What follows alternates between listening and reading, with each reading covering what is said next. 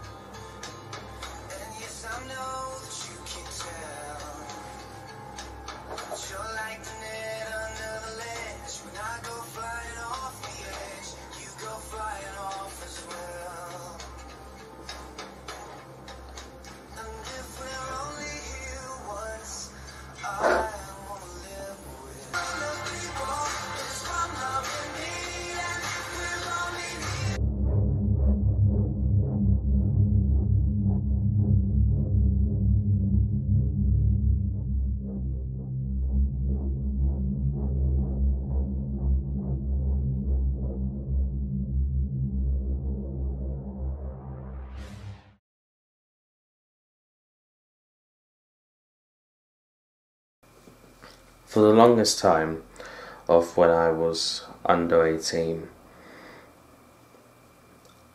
when I've been to school or college I've always been labelled the shy one.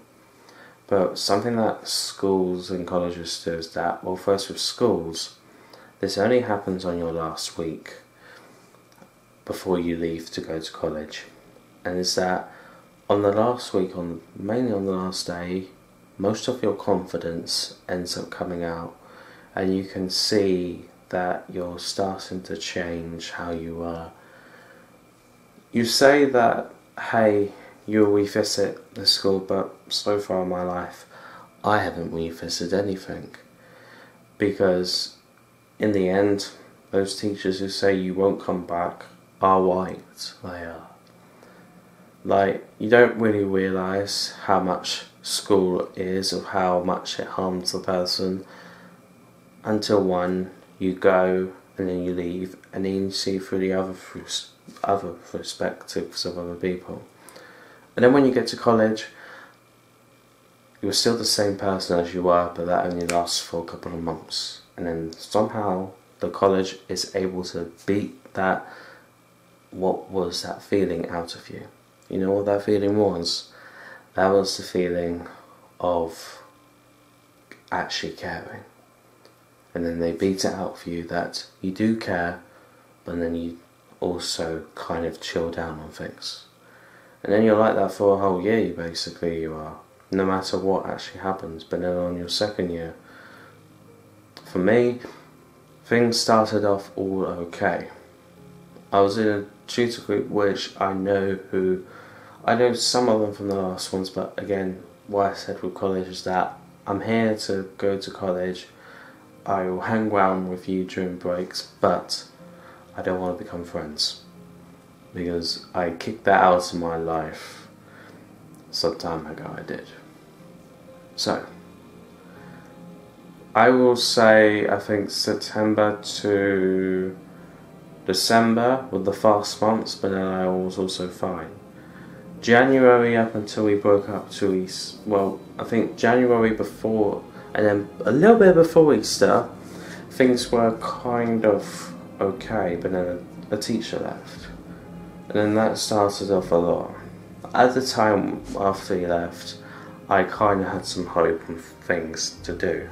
And if you don't know, if you're really good and you feel kind at a place, they kind of you, you're able to sort things out faster.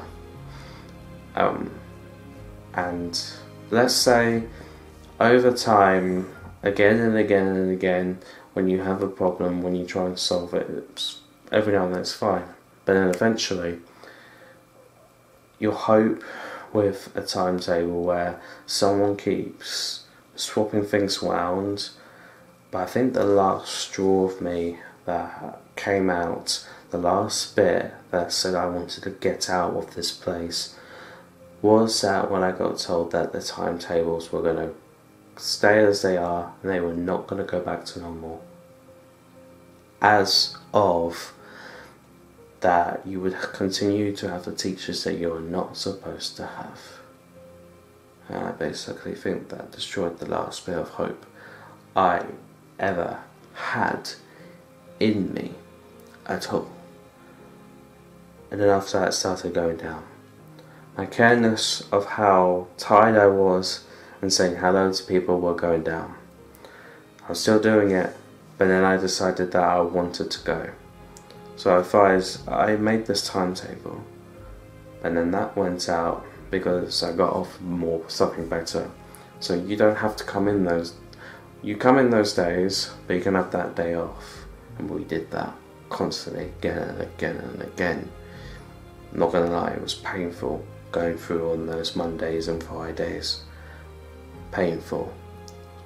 It was. There have been times where I, I I wanted to have a sick day, but then it'll be a fake sick day. And I'm saying this now because I know that I will never see them ever again, and I don't plan to.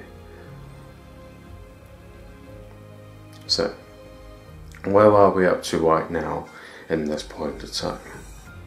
I've already told people that I'm leaving, but I haven't told the most important people until the last day and my last day.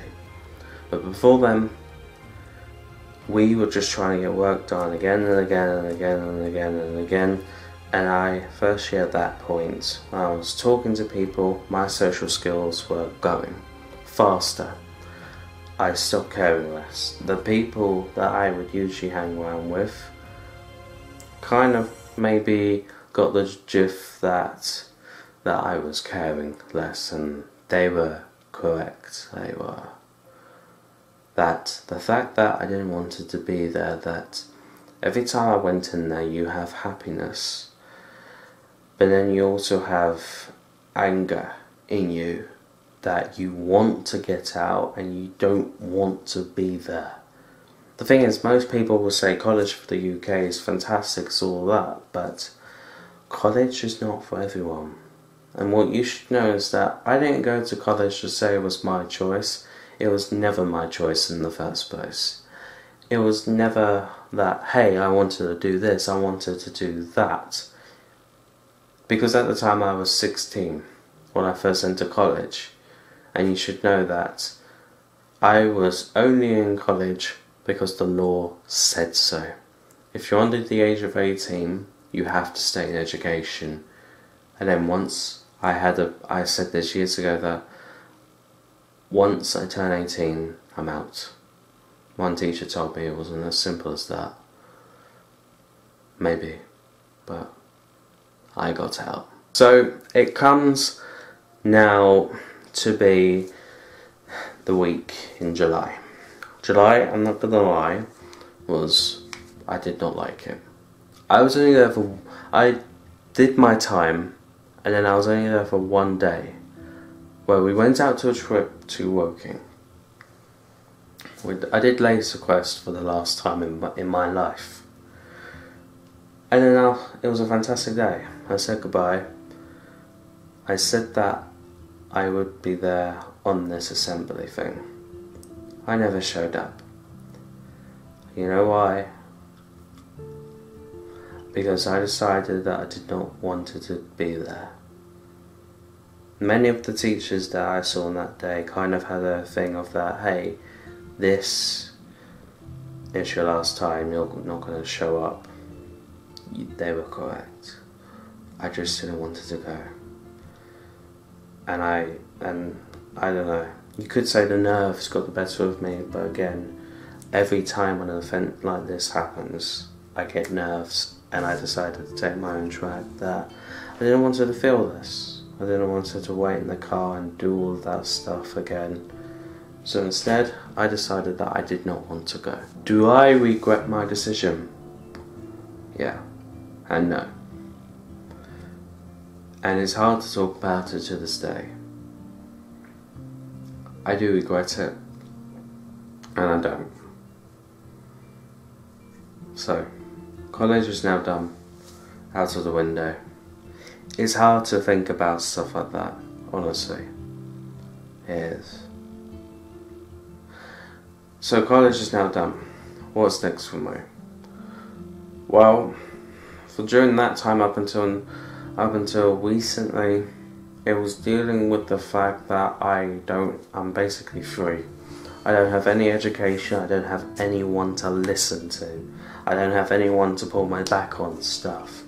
You know, on the final days of the college, there was not that many people I actually did not like or hate, but I dislike certain teachers that I won't name.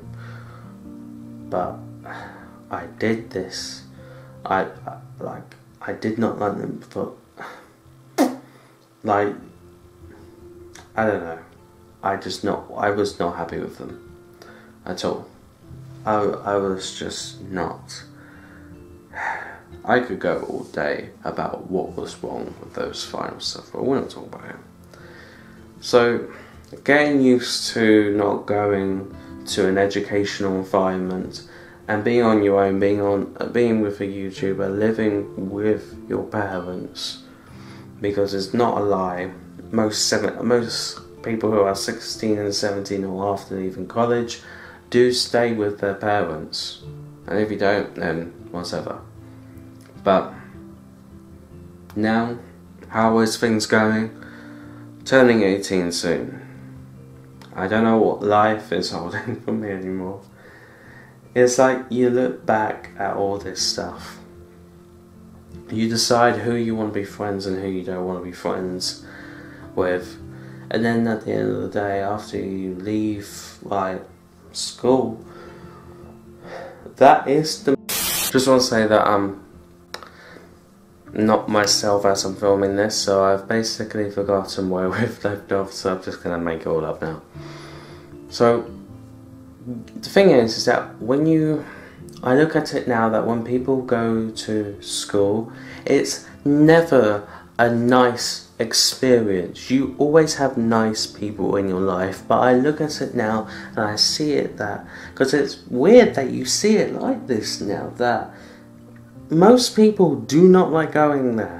Like I think throughout the time that you have, I'm gonna call them the child senses of being a child and nothing to like.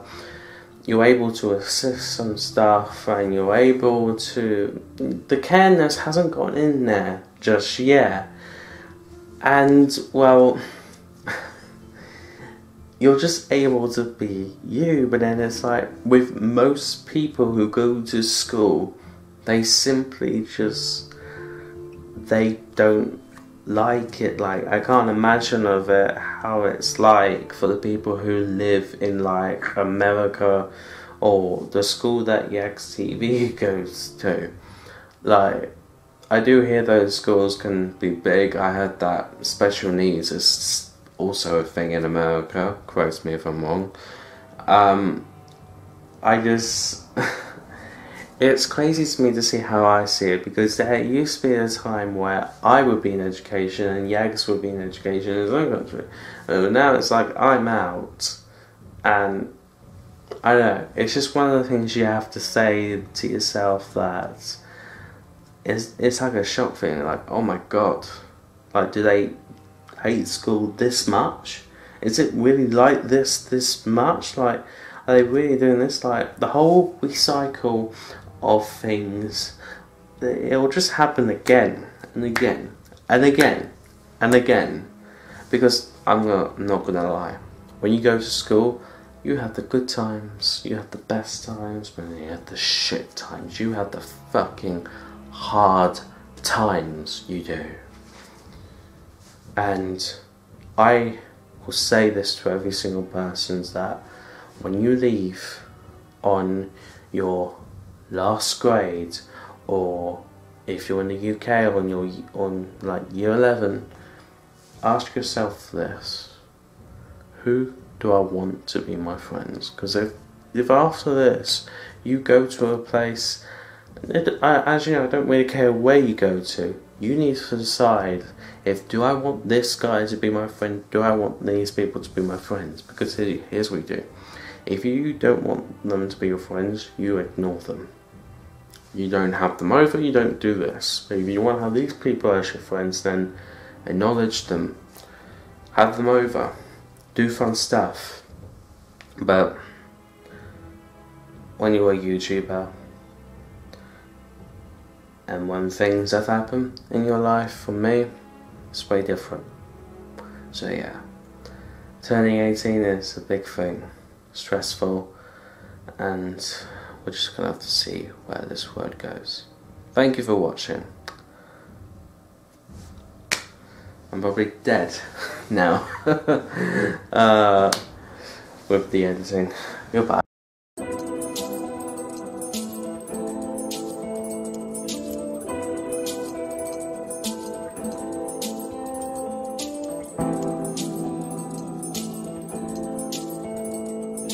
Thank